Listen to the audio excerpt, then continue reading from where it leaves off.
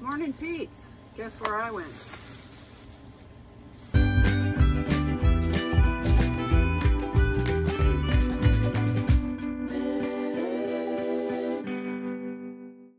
Yep, small Dollar Tree haul. It'll be quick, I promise. I promise! Okay, first thing. I had not seen these before. This is cinnamon sugar pretzel sticks. Taste test. I have such a pile. I gotta quit buying stuff because Jennifer just needs to get ready and be with me and do that. We need to get it done. Get her done. This is for a project. If I get it done before I edit, I will show you. If not, sorry. it is what it is. Okay, this is this is the treasures. Okay, I went to Dollar Tree because I have a sponge that you put um, soap in the dish soap in the handle and you can use it and I've gotten kind of used to it and like it and I broke it. And I got it at Dollar Tree and I went there to get another one. They had the refills but not the sponge itself.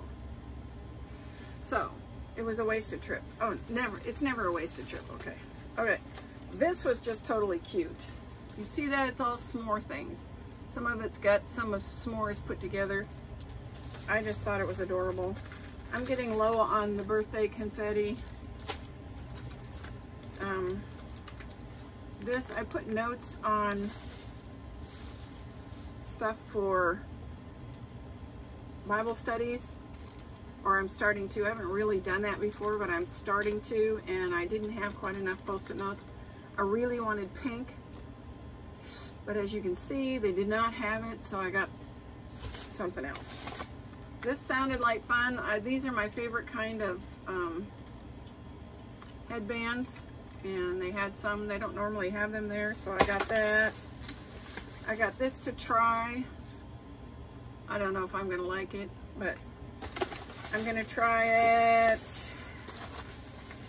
And that's pretty much it. See, told you it was short, really short. Uh, nothing really exciting, is it? I'm, I'm concerned about this. I've never used a brush one, but we're gonna try it. Anyway, that was it, peeps. I hope this finds you absolutely amazing. Stay blessed. Until next time. Hey, you made it to the end. Please hit like and subscribe, and thanks for watching.